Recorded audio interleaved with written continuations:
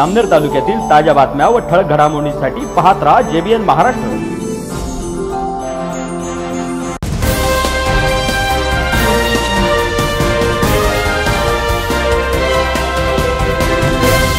नमस्कार मी वर्षा जाधव व पाहूया काही ठळक वृत्त.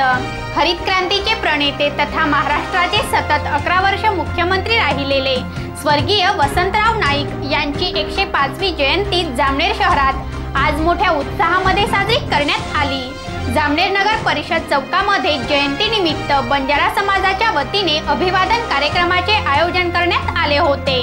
या प्रसंगी राज्याचे जलसंपदा मंत्री नामदार गिरीश महाजन यांनी वसंतराव नाईक यांच्या प्रतिमेला माल्यार्पण करून सर्वांना जयंतीच्या शुभेच्छा दिल्या.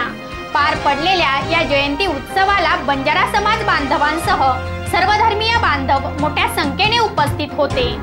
आमचे तालुक्याचे लोकप्रिय आमदार जलसंपदा मंत्री गिरीश भाऊ महाजन यांना विनंती करेल की त्यांनी दोन शब्द जनतेवर बोलावे.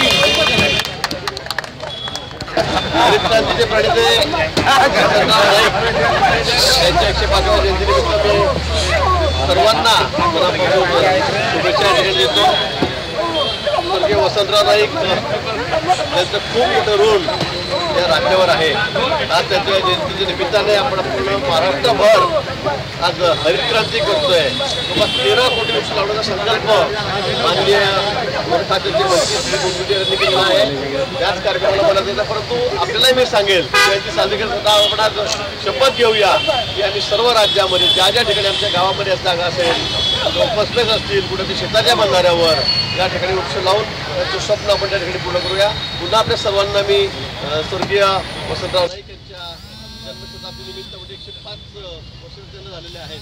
त्या निमित्ताने सर्वांना शुभेच्छा देतो.